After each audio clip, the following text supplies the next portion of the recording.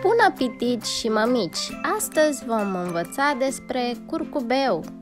Cu toții ne bucurăm la vederea unui curcubeu, dar copiii sunt cu adevărat fascinați de culorile desenate pe cerul senin imediat după ploaie. Însă, cum se formează curcubeul?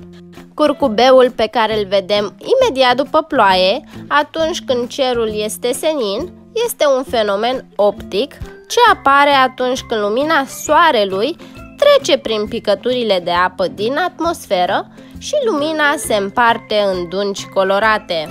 În contact cu apa, chiar și cu un strop mărunt de ploaie, lumina de la soare, trecând prin picătura de apă, ne oferă nouă spectacolul de culori pe care îl vedem în formă de curcubeu pe cer.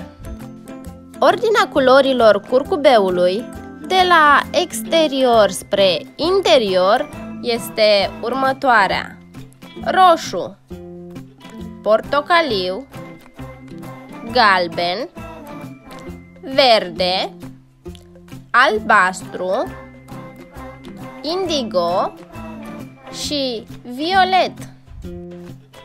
Centrul curcubeului este întotdeauna indicat de poziția umbrei tale.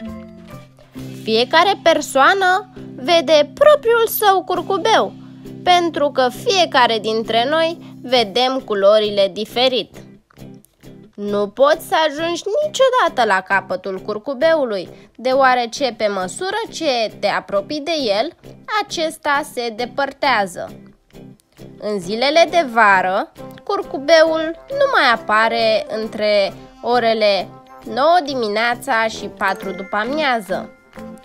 Cerul, pe care îl vedem deasupra curcubeului, are mereu o nuanță mai închisă decât cerul pe care îl vedem în interiorul curcubeului.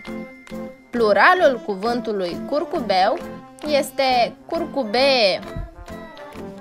Dacă și vouă vă plac curcubele, am să vă rog să desenați și voi un curcubeu, iar cele mai frumoase lucrări vor apărea în următorul videoclip postat de mine. Sper că informațiile pe care le-ați aflat astăzi sunt destul de interesante pentru voi